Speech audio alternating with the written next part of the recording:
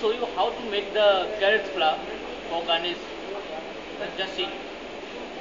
First, peel the carrots.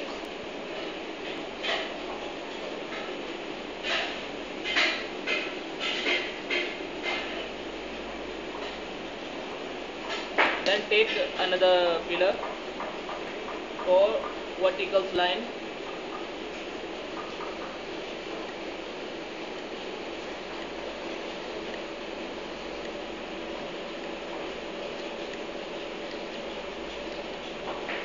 let's see smoothly.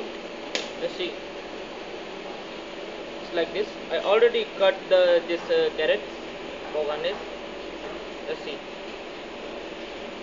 Cut all the edges.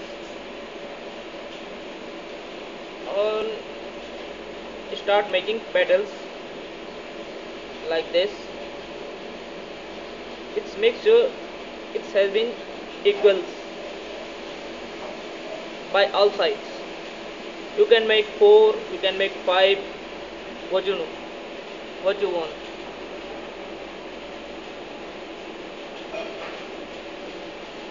Just cut.